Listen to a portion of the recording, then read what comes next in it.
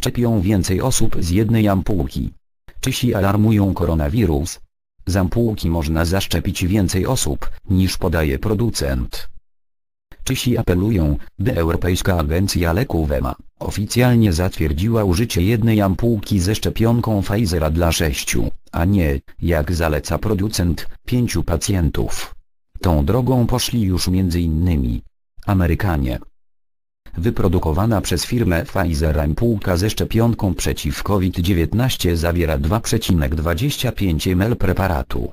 Koncern podaje, że z jednej fiolki można zaszczepić 5 osób, pacjentom podaje się po 0,3 ml. To znaczy, że w każdej z ampułek jest 0,75 ml zapasu. To częste w przypadku szczepionek wielodawkowych. Część płynu może przecież zostać w igle, na ściankach ampułki czy we wnętrzu strzykawki. Również po pobraniu płynu do strzykawki usuwa się ewentualne bąbelki poprzez jego wypuszczenie, aż do uzyskania objętości 0,3 ml, mówi interim.pl profesor. Agnieszka Szuster-Ciesielska z Katedry Wirusologii i Immunologii Uniwersytetu Marii Curie Skłodowskiej w Lublinie. Okazuje się, że z jednego opakowania szczepionki przeznaczonej przez producenta dla pięciu osób można zaszczepić sześciu, a w skrajnych przypadkach nawet siedmiu pacjentów.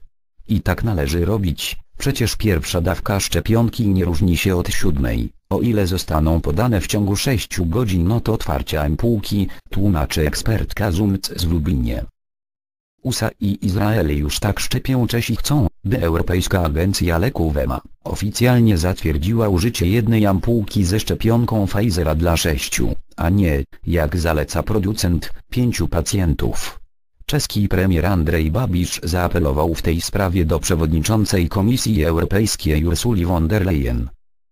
Premier Babisz powołuje się na przykład Izraela, gdzie jeszcze przed świętami tamtejsze Ministerstwo Zdrowia wyraziło zgodę na szczepienie sześciu osób z jednej ampułki Pfizera.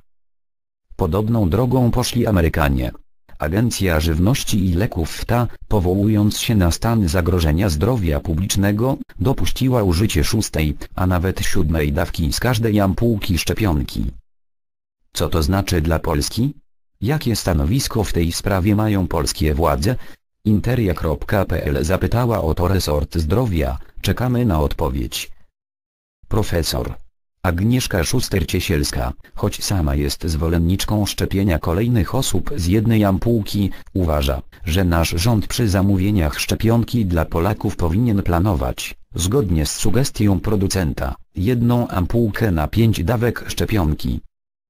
Przesadnie skrupulatne zakupy mogą sprawdzić się w domu, ale nie w przypadku zamawiania produktu dla wielu milionów osób, biorąc pod uwagę wysokie ryzyko niewykorzystania części zawartości ampułki.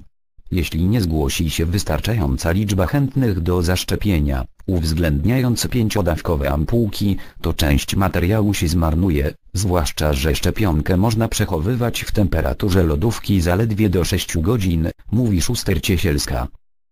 Jak dodaje, bardzo wiele zależy od systemu zapisów chętnych do zaszczepienia. Na każdy dzień powinno przypadać tyle osób, aby maksymalnie wykorzystać wszystkie dostępne dawki szczepionki tak, aby nic się nie zmarnowało, uważa profesor. Agnieszka Szuster-Ciesielska. Autor Łukasz Grzesiczak